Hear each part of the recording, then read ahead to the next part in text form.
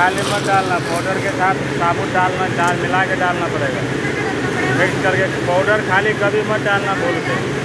ठीक है बाद में बोलना मत प्रोडक्शन डाउन हो गया। साबुन मार हाँ, साबुन डाल ले या पाउडर डालना है तो उसमें मिला के डालो। तुम्हारे में खाली पाउडर नहीं डालना कोई बोलेगा तो मेरा नाम बोल दे।